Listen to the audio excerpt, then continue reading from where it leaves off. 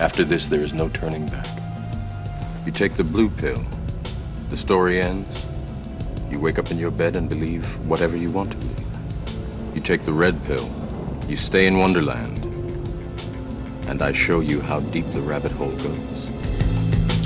Well, yes, my friends, how deep does the rabbit hole really go? Well, that's what we're here to discover. Dedicated to the only serious choice, the gospel of Jesus Christ, music, and the spoken word. Watching Light Source Victory Television Live with me, your host, Pastor J.C. McCauley, inviting you to sit back and relax for the next 25 minutes as we continue our journey into the life changing, life giving, everlasting word of the Most High God. My friends, it's time for the most important half hour of the day Bible study. Now, of course, it is my Bible study time that I spend with you. We try and do it each and every Sunday through Thursday right here on accesstv.org, Google Plus, and of course on Facebook. So grab pencil, pen, paper, all the things necessary in order to take the journey with us, your Bible, and of course, get on the phone and call up friends and family. Send out your tweets, your emails, and all of the other ways that you connect with people in your social media circles. Let them know it is indeed time for Light Source Victory Television Live. Broadcasting, of course, live from the greatest city on earth, Hartford, Connecticut, New England's rising star. Stick and stay, my friends. Don't go anywhere. We will be right back. Oh, yeah. Oh, yeah.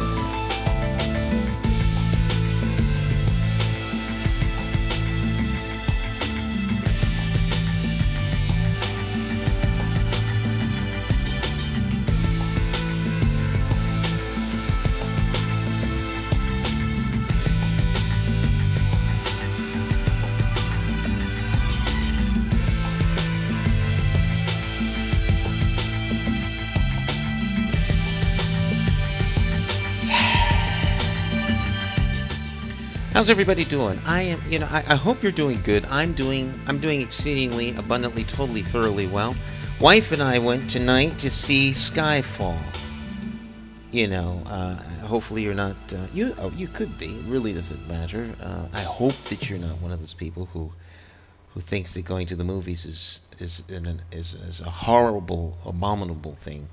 Uh, but um, of course, we we've been wanting to see uh, Skyfall since it premiered.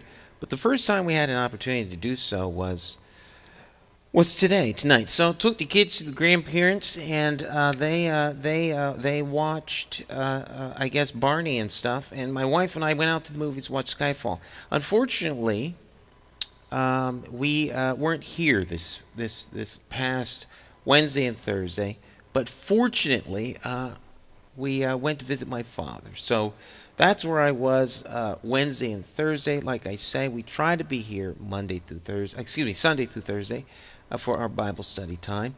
And uh, you get a day off when I get a day off. So I had two days off, and now we're back at it. So we're raring and ready to go. On your television screen, the life changing, life giving, everlasting word of the Most High God. Want you to open up your Bibles. If you don't have a Bible? Well, as you can plainly see, there is one on your viewing screen. All right? That is the life changing, life giving, everlasting word of the Most High God. Let us set it up for our Bible study time. On this side of your viewing screen is the New Living Translation, and on this side of your viewing screen, we're going to set up the authorized version, otherwise known as the King James Version. The authorized, excuse me, the New Living Translation, which is on this side of your screen, uh, uses modern English, and it makes it a whole lot easier uh, to uh, to uh, to, um, to just for you to understand. We don't spend a lot of time looking up words in the in the you know Strong's exhaustive concordance of the Bible to get the Greek and then go back and find translation and you know same thing with the Hebrew and all of that other stuff. It just it just saves us a lot of time. So after some 30 odd years of doing this, uh, I find this is the best version to use. We put them up side by side so that you can um, uh, be able to, to, to share with us out of the, uh, the King James as well as the New Living Translation. My mentor taught me that if it isn't in the King James, Stanley, uh, then it isn't in the Word of God. And so that that that's uh, was was my mentor's one of my mentors' motto and mantra. It's got to be in the King James. Well, nonetheless, here we are, and so let's get started with 27 minutes left in the program. All right, we may know that these things make no difference, but we cannot just go ahead and do them to please ourselves. We must be considerate of the doubts and fears of those who think these things are wrong. Now, you might ask, uh, excuse me, program host, Pastor Stan, uh, what are we, what are you talking about here? Well, uh, we don't do review here on uh, on Light Source Victory Television. We uh, expect that you will take and uh, apply uh, due diligence in staying up to speed with us. If you miss any portion of the program, you can always log on to uh, accesstv.org and click on Light Source Ministries. Okay, and that thread will give you all of the episodes or programs uh, from Light Source Victory Television back to the beginning of our return to uh, broadcasting. So it starts off in Romans chapter 1. And so we're just going to keep plowing along. We do about 220, 240 uh, programs every year. All right. And they'll all be out there on, on, on the World Wide Web for your consumption. Okay. We will keep 100 in the queue. So if you miss any episode, you can always go back and get caught up. We do not do review. It is my expectation that you will be here when we're here. Okay? So with that, let's just pick up where we were when we were last together. Romans chapter 15 verse 1, reading out of the New Living Translation. We may know that these things do these things make no difference but we cannot go just go ahead and do them to please ourselves. We must be considerate of the doubts and fears of those who think these things are wrong. Verse 2, top of your screen. We should please others. If we do what helps them, we will build them up in the Lord. Now, this is talking or making reference to, I have to be somewhat responsible here. This, of course, is making reference to committing uh, acts that others find distasteful or sinful, even though they aren't. And it's, um, you know, it's no big thing for you or I to not commit such things. So if you believe that having, uh, you know, a turkey dinner is a sin, and I have a succulent turkey dinner to eat, then it would be incumbent upon me to be sensitive to your lack of knowledge and understanding and not eat the turkey dinner. I mean, at the end of the day, it's not going to kill me not to eat the turkey dinner, but it may help you in your faith and your understanding so as not to put a stumbling block in your progress and growth for losing faith with God because of some silly selfish act I commit. That's basically what it's talking about. So even though it isn't sin, I ought not do it. Because my main concern ought to be your spiritual growth. Now, does this apply to people in general? You know, that we become, you know, men pleasers, just doing what makes other people happy? Absolutely not. This is talking about the, your brothers and sisters in the Lord and as it relates to their spiritual growth. Okay? Verse 3 For even Christ didn't please himself, as the scriptures say. Those who insult you are also insulting me.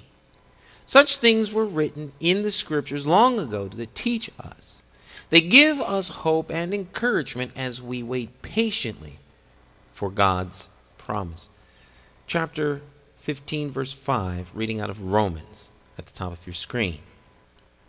May God, who gives this patience and encouragement, help you live in complete harmony with each other, each with the attitude of Christ Jesus toward the other. Now, the attitude of Christ Jesus toward the other.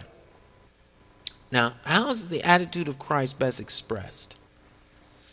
Let's see if we can use the Wayback Machine here and figure this out. For God so loved the world that he gave his only begotten Son, that whosoever believeth in him should not perish but have everlasting life. God's love for humanity, God's love for us, God's love for those who have yet to come into a relationship with him. For when we hated God, he shed life's precious blood for the remission of our sins.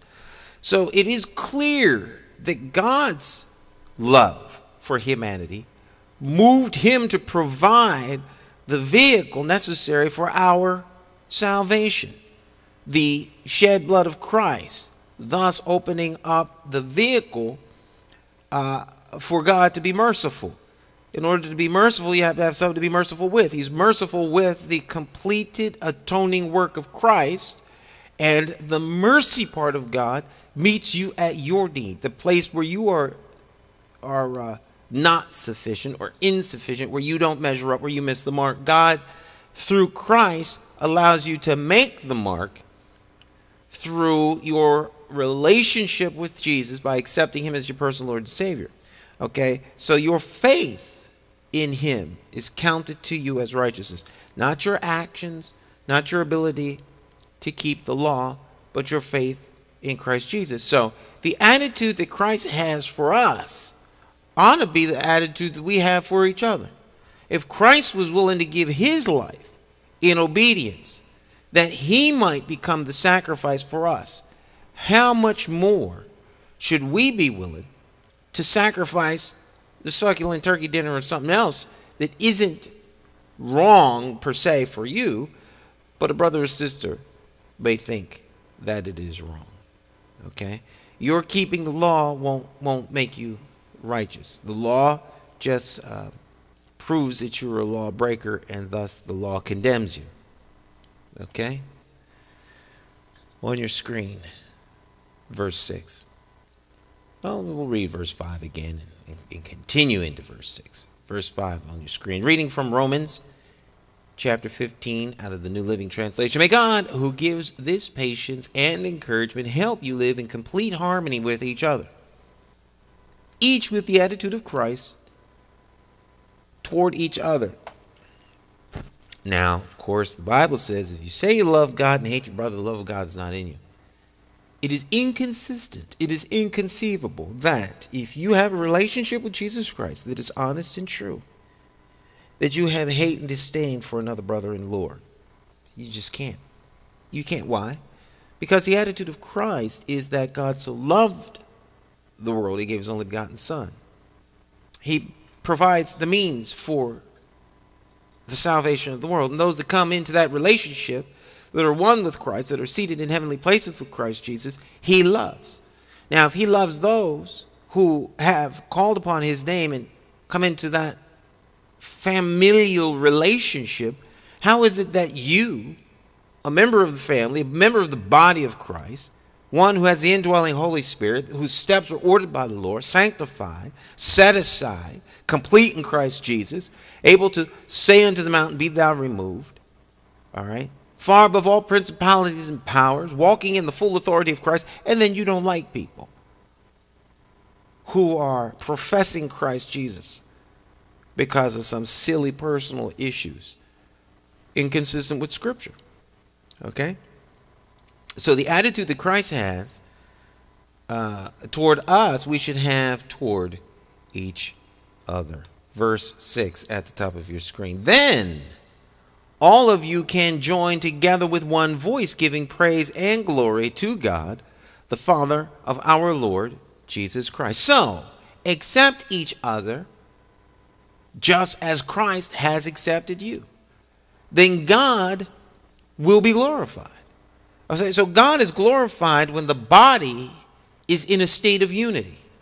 All right? And let me let me let me uh, just uh, uh, expound on that last statement a little bit. It isn't that you go out and try to unify in an effort to bring this glorification to God. It is that you are walking in obedience to the scripture. You have fully submitted yourself to uh, the Lord. And as a result, there is fruit that comes forward. And the fruit bears witness of Christ in you. And that harmony of the, of, of the Spirit that you see in other Christians. It's just going to be there. All right? That's the kind of unity we're talking about. We're not talking about a, a, a man made constructed unity. Uh, the body of Christ is not a political party trying to bring together different coalitions with different interests so that they can all achieve uh, some sort of grand goal that allows each of them to have a slice of the pie of power and resources that satisfy their own individual interests. So if I'm with group A and my concern is group B, all right, my wants, needs, and desires is is is from Group B. Uh, let me ref, let me start that over. If I'm with Group A, and my needs, wants, and desires are out of Class One, and I'm in Group B, and my needs, wants, and desires are out of Class Two, and if I'm with Group C, and my needs, wants, and desires are out of Class Three, and normally the three of us can't get along but together, we can attain the numbers necessary to move forward a political agenda and receive resources from all of the all of the number classes and get what we want. God doesn't work like that. All right? Because greater is he that is in you than he that is in the world, there's going to be unity among the body. So it isn't like you go out and you have these, you know, um, you know, uh, workshops on church unity. I mean, how do you have a workshop on church unity? Uh, a workshop on working together to move God's agenda forward. We're going to call ourselves the majority of the moral. We are the religious left and the religious right, and we're going to come together to move an agenda that is God, pro God, as though God needs your political, um, and, and uh, uh, your political um, what do we call these? Uh, your political um, escapades to move an agenda that is God centered forward. God's will is done, period. The only thing you need to do is get your mind around what's happening. Thy will be done on earth as it is in heaven. God doesn't need consensus to have his will come to pass. You need to get with God's plan, and his plan is laid out very clearly in the word here. All right? There's, no contradiction here, just your ignorance and my ignorance. There's no contradiction. So, what we need to do is align ourselves with what the word says to the degree that we start to demonstrate in our activities, in our actions, in our manners, in our conversation, in our goings and comings, the things that mark the fruit of the indwelling spirit.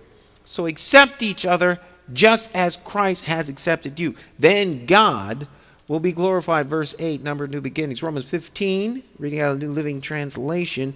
Remember that Christ came as a servant to the Jews to show that God is true to his promises.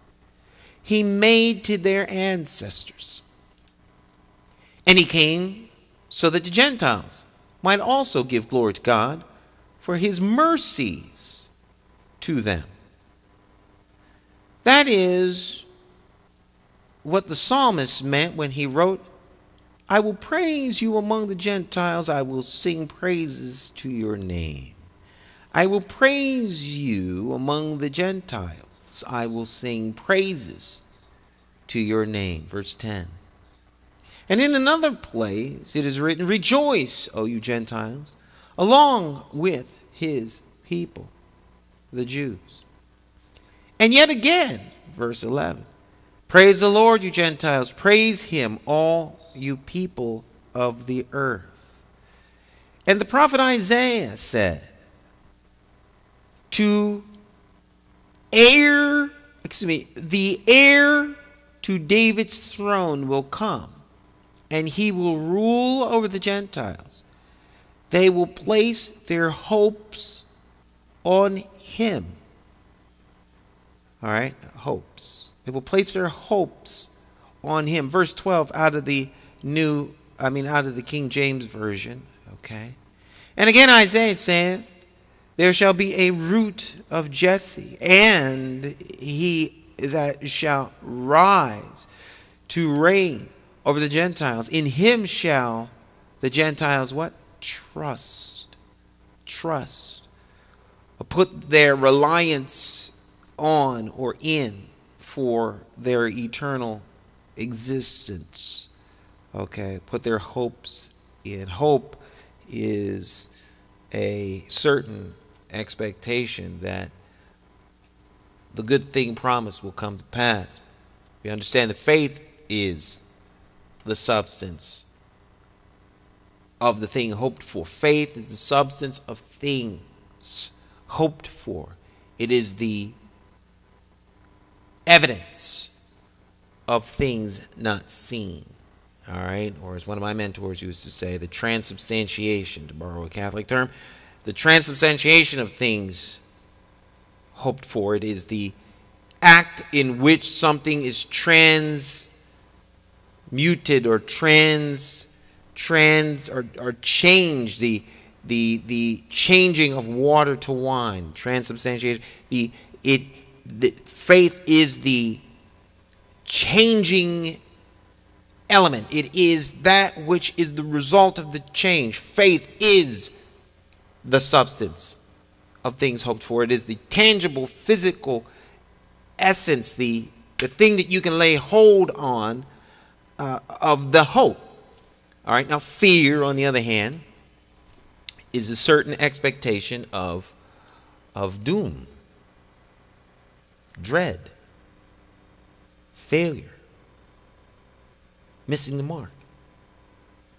We live in a society that is centered around fear. People are scared of everything. Hey, are you you're afraid for your safety? My God, a storm is coming, and without the help of the federal government, what will I do? I live here on the beach, and the hurricane is coming. I'll I'll die out here. You sure will if you don't have enough sense to go inland. I mean, some things you have control over. But you've been you've been you've been programmed by the things you watch on TV, by the stories you read in the in the propaganda news, uh, the the, the uh, uh, papers and and and um, you know the industrial news complex, the industrial the industrial media complex. You know, uh, Joseph Goebbels is alive and well. We see it manifest in everything you watch is part of the propaganda that programs you to be in a state of expecting the worst, in a state of expecting God to fail, in a state of fear instead of hope. The hope that is aligned and in line with the Word of God, where our promise and our hope is built on the eternal, everlasting Word of Christ and his resurrection and defeat over the grave. So my hope is not in my 401k. My hope is not in the fiscal cliff not happening. My hope is in Christ Jesus. For it is his blood that has set me free. It is his blood that is the currency that matters most. If you don't have a hold of the currency of life, which is the blood of the lamb, then you truly are headed for a fiscal cliff. All right? And you will be found wanting on judgment day, and you, my friend, will not make it. All right? So, our hope is in He who is the Messiah. The heir to David's throne will come and he will rule over the Gentiles. They will place their what? Hopes on him. Verse 13 at the top of your screen, reading out of the New Living Translation, chapter 15, Romans. So I pray that God, who gives you hope, will keep you happy and full of peace as you believe in Him. May you overflow with hope through the power of the Holy Spirit, overflowing with hope. Out of the King James. Now, the God of hope fill you with all joy and peace in believing, in faithing okay, that ye may abound in hope the outward, right? Faith, substance, things hoped for. You have your hope, so therefore you have the faith. Go on and on and on and on. We run out of time going over that over and over again. Through the power of the Holy Spirit. The Holy Spirit is the down payment upon the purchased possession. You are the purchased possession, purchased by the blood of the Lamb, paid in full, complete in Christ Jesus.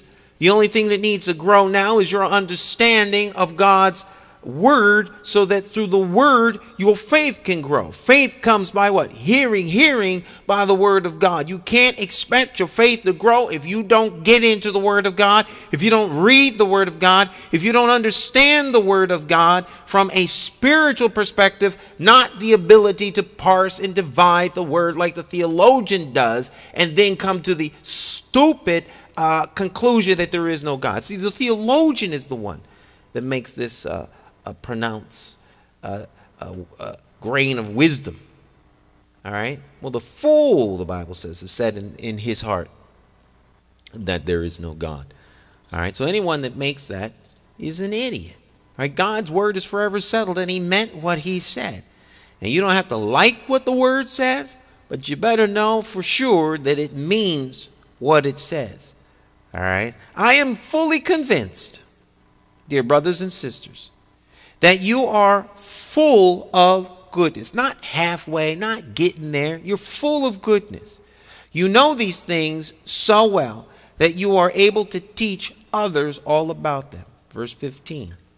Even so I have bold, I have been bold enough to emphasize some of these key points or some of these points, knowing that all you need is this reminder from me. For I am, by God's grace, a special messenger from Christ Jesus to you Gentiles.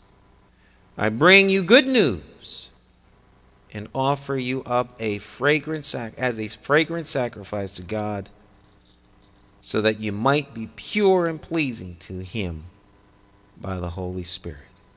So it is right for me to be enthusiastic about all Christ Jesus has done through me in my service to God. I declare not, excuse me, I dare not boast of anything else. I have brought the Gentiles to God by my message and by the way I live before them. I have won them over by the miracles done through me as a sign from God, all by the power of God's Spirit. In this way, I have fully presented the good news of Christ all the way from Jerusalem to uh, to uh,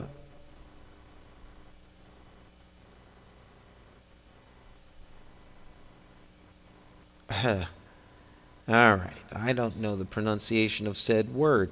Let us look it up. Double click. I can't see this. Let's do the Strong's numbers.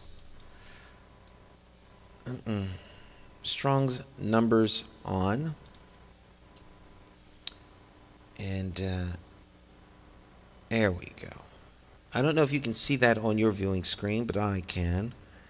The lyric band, pronounced Illyricum. Illyricum. Illyricum. Illyricum. All right. See, I can't pronounce the word, so. You know, I'm not going to pretend that I can when I can't because you can clearly see that I can't. So let's look it up. And that's how you stop being ignorant. You come across something you don't know, you look it up. You come across a word you can't pronounce, look it up. Ask for help. Look it up. The tools that you need are always available. Always. Okay? Uh, so I guess that's pronounced uh.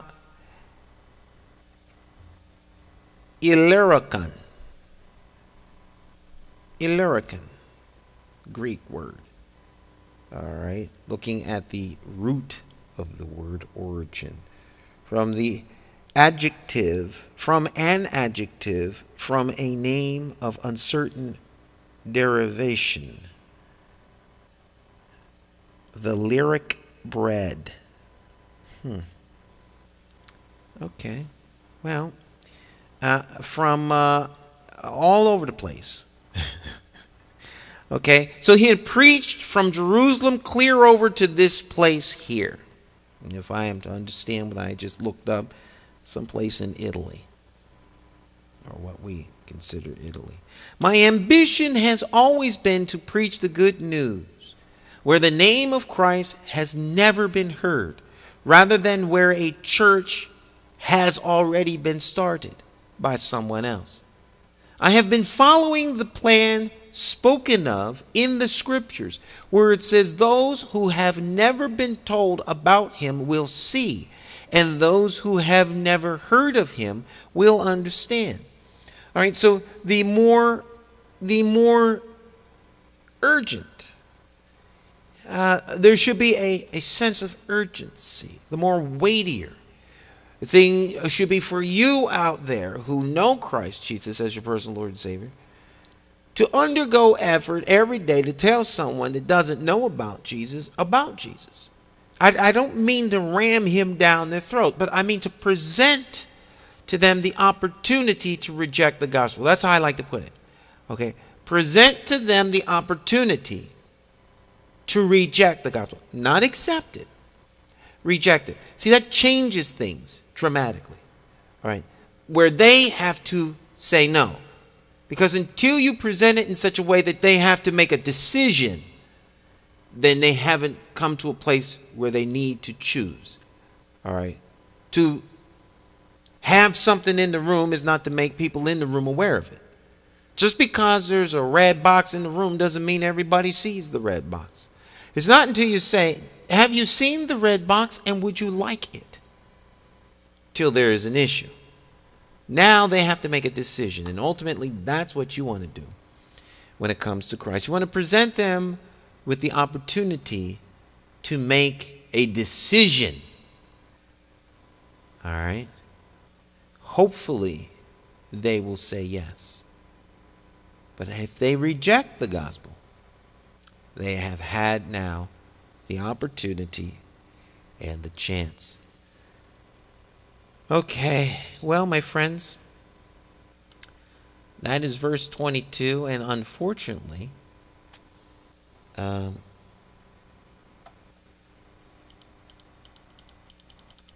yeah, yeah, yeah, we're out of time. Verse 22, we have 10 more, we have 11 more verses to go, and uh, we can't we can't power through them.